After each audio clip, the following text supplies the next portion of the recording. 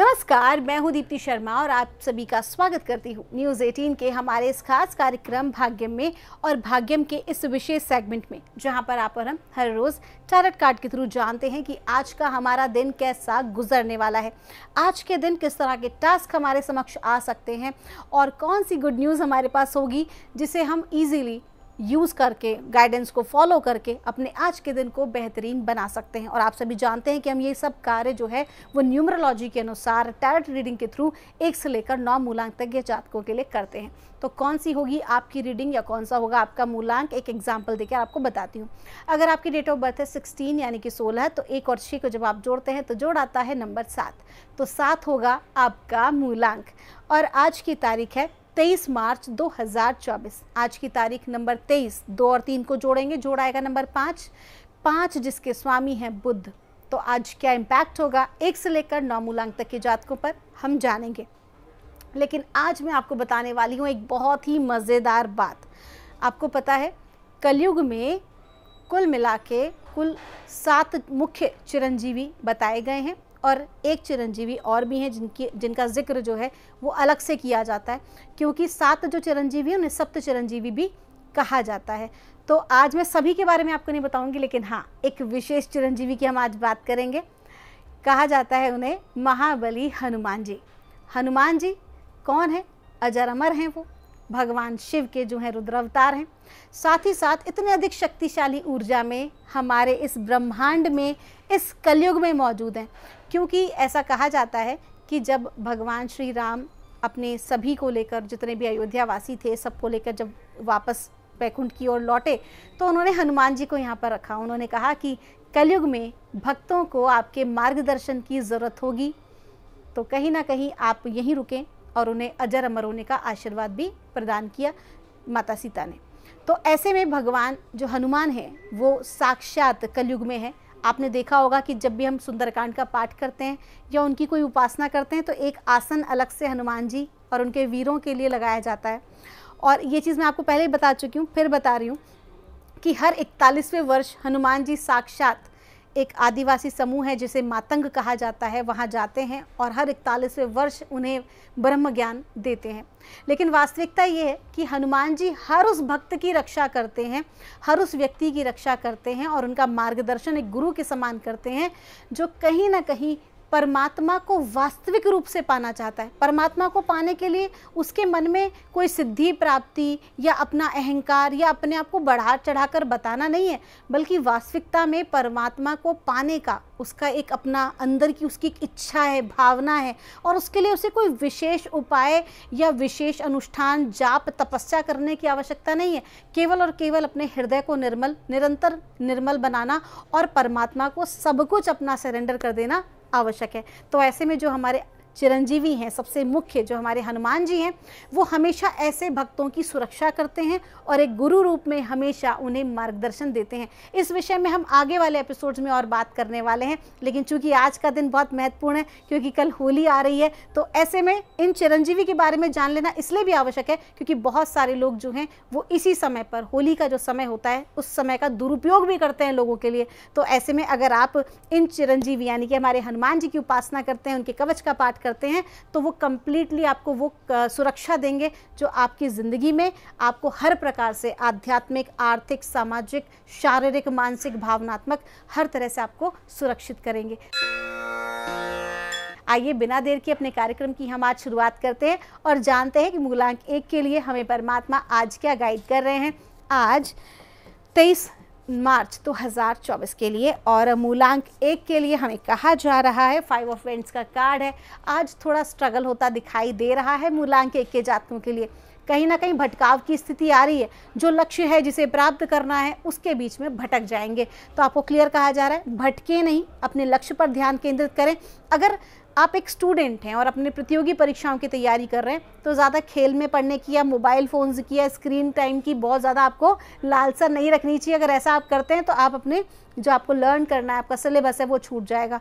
अगर आप जो हैं, किसी बिज़नेस में हैं, या आप अपने प्रोफेशन में अगर आप आगे बढ़ना चाहते हैं तो अपने लक्ष्य पर काम करें, अपने प्रोजेक्ट को कंप्लीट करने में ध्यान दें, ना कि उससे विमुख हों, क्योंकि आज ऐसा मौका आएँगे, एक नहीं, कई मौके आएँगे, जहाँ पर आपकी मति भ्रम वाली स्थिति आज आ सकती है। तो ऐसे में आपको क्या करना है? आज के दिन आपको अपने इष्ट देव का जो है, वो आपको उनकी उपासना करनी है, उनके स्त्रोत्र का पाठ करना है, और साथ ही साथ कवच का पाठ भी ज़रूर करें। आपका दिन शुभ हो। आइए जानते हैं मूलांक दो के लिए हमें परमात्मा आज क्या गाइड कर रहे हैं तेईस मार्च 2024 के लिए। और मूलांक दो के लिए हमको कहा जा रहा है किंग ऑफ़ पेंटेकल्स का कार्ड है आज के दिन एक व्यक्ति जिन्हें आप बहुत मानते हैं। फादर लाइक फिगर या आपके बड़े भाई भी हो सकते हैं, आपके बॉस भी हो सकते हैं, या आपकी ज़िंदगी का ऐसा कोई महत्वपूर्ण व्यक्ति आज आपकी सहायता करने वाला है। आज के दिन वो आपको हर तरह से परिपूर्ण करने में आपकी मदद करेंगे फाइनेंशियली भी आपके प्रोटेक्शन के लिए भी सोशली भी वो आज आपको फुल सपोर्ट करने वाले हैं। तो ऐसे में आपको आज निश्चिंत हो जाना चाहिए। वहीं आज आपको अगर किसी प्रकार की परेशानी महसूस होती है तो आपको क्लियर कहा जा रहा है। देखिए, क्योंकि यहाँ पर जो डॉग एक लाइक फिगर आया है, जो आपको क्लियर कह रहा है कि ये मित्रों के साथ आज आपको सपोर्ट मित्रों का मिलेगा। और कहीं ना कहीं अगर आप अत्यधिक तब भी परेशानी में हैं तो आज के दिन आपको काल भैरव की उपासना करनी चाहिए। उनके काल भैरव अष्टक का पाठ ज़रूर करना चाहिए। आपका दिन शुभ हो। आइए जानते हैं, मूलांक तीन के लिए हमें परमात्मा आज क्या गाइड कर रहे हैं, तेईस मार्च 2024 के लिए। और मूलांक तीन के लिए हमको कहा जा रहा है द चैरियट का कार्ड है। आपको कहा जा रहा है कि आज का जो दिन है वो बहुत अच्छा है। आपका समय बदल रहा है। अभी तक जितने स्ट्रगल्स जो परेशानियाँ आपने देखी, अब आप उससे ओवरकम कर रहे हैं। गुरु कृपा बनी हुई है। टाइम चेंज हो रहा है। कुल मिला के आज का दिन जो है काफ़ी कुछ बदल जाएगा। आज के दिन जो आपकी स्थिति है वो सुधर रही हैं और सही मार्ग की तरफ़ आप बढ़ रहे हैं। आपका दिन शुभ हो। आइए जानते हैं मूलांक चार के लिए हमें परमात्मा आज यानी कि 23 मार्च 2024 को आज क्या गाइड कर रहे हैं।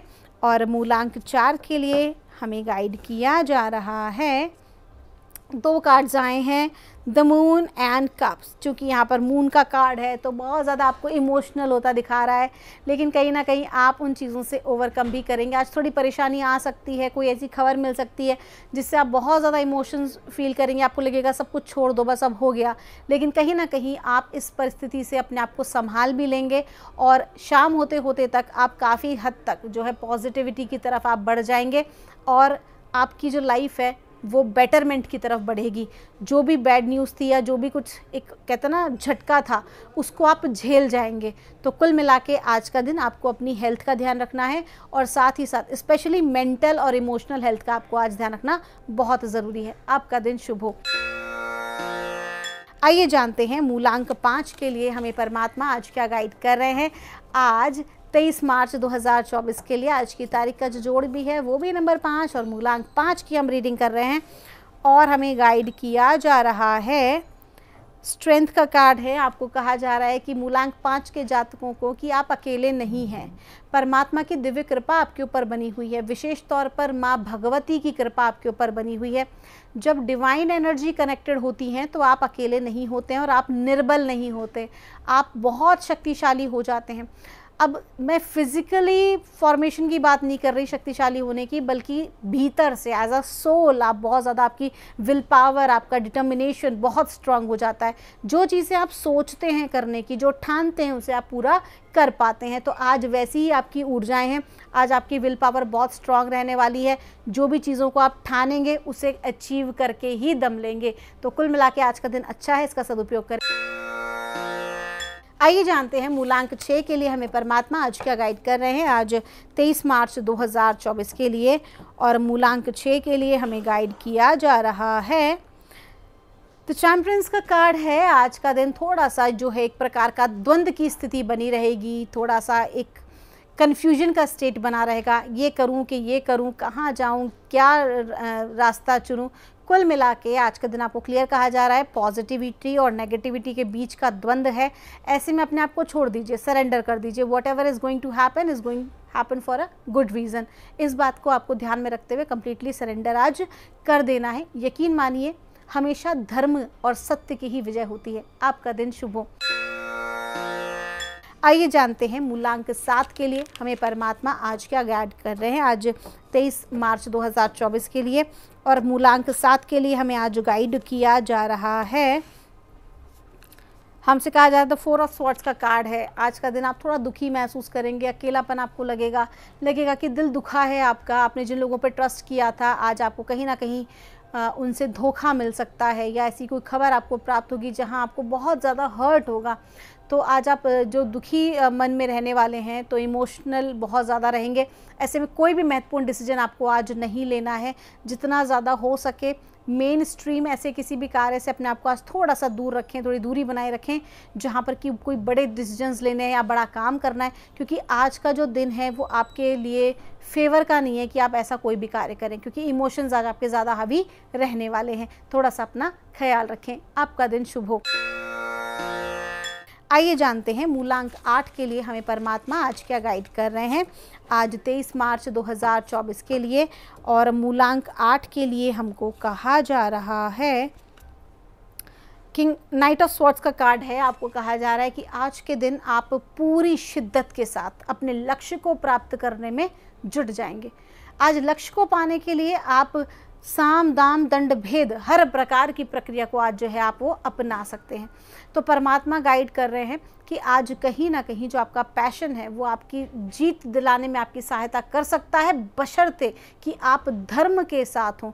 किसी भी प्रकार का नेगेटिव मैनिफेस्टेशन आप ही के लिए भविष्य में नुकसानदायक हो सकता है। इस बात का विशेष ध्यान रखें। आपका दिन शुभ हो। आइए जानते हैं मूलांक नौ के लिए हमें परमात्मा आज क्या गाइड कर रहे हैं। आज 23 मार्च 2024 के लिए। और मूलांक नौ के लिए हमको कहा जा रहा है नाइन ऑफ़ सॉर्ट्स का कार्ड है लकी नंबर है आपका नंबर नौ और आपको कहा जा रहा है कि आज के दिन आप बहुत ज़्यादा डिप्रेसिव स्टेट में रह सकते हैं क्योंकि बैक बाइटिंग हो सकती है। कहीं ना कहीं षड्यंत्र के शिकार हो सकते हैं, विरोधी आपको परास्त करने की कोशिश कर सकते हैं, शत्रु आज हावी होने की कोशिश करेंगे। ऐसे में बहुत ज़्यादा ज़रूरी है कि थोड़ा सा सतर्क रहें, चौकन्ने रहें और अपने आसपास की परिस्थितियों को ध्यान में रखते हुए कोई कार्य करें। आज के दिन जितना ज़्यादा आप देवी माँ की उपासना करेंगे, आप देवी के उग्र स्वरूप की उपासना करेंगे, आप उनसे सहायता मांगेंगे, अगर संभव हो सके तो आज आप महाकाली के स्थान जाएँ और उन्हें आप अनार जो है वो भेंट करें और उनके चरणों में आपको गिरना है और आपको स्पष्ट रूप से कहना है कि आपकी सहायता करें। अगर आप मंदिर नहीं जा पा रहे हैं तो आपको घर में ही रहकर आपको उनके जो स्त्रोत्र है उसका पाठ करना है, उनके कवच का पाठ करना है और अपने वेलबींग के लिए, अपनी सहायता के लिए उनसे मांगना है, प्रार्थना करनी है। आपका दिन शुभ हो। तो दोस्तों, ये थी रीडिंग हमारी एक से लेकर नौ मूलांक तक की। हम परमात्मा से प्रार्थना करते हैं। आप लोग हमेशा खुश रहें, स्वस्थ रहें। आप सभी का मंगल हो। मिलूँगी आपसे हमारे अगले एपिसोड में। तब तक के लिए आप सभी के भीतर बैठे परमात्मा को मेरा प्रणाम।